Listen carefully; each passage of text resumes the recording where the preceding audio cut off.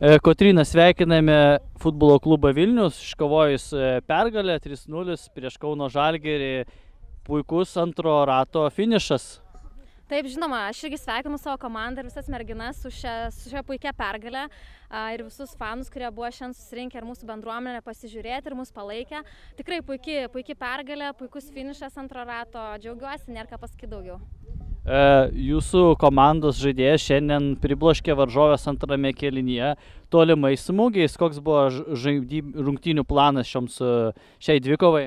Vienas iš akcentų ir buvo būtent tolimi smūgiai, analizavimo varžovų, sekame visą lygą, analizuojame, ruošiamės, tad e, niekom nenustebino, tam ir ruošiamės, tą ir pasiekėm. Ši pergalė turnyrinė lentelė iš ties svarbi. Jūsų klubas turi ambicijų, debutavo A lygoje, o dabar ši pergalė suteikia galimybę rudenį įsitraukti jau į lenktynės dėl bronzos. Žinoma, apetitas kyla be valgant, tai tos pergalės ateina, aišku, kodėlgi nepakovoti ir dėl trečiosios vietos.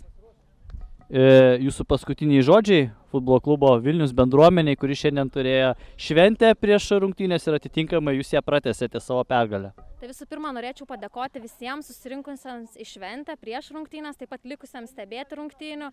Tai tiesiog jūs esate dalis mūsų ir šitą pergalę irgi priklauso jums.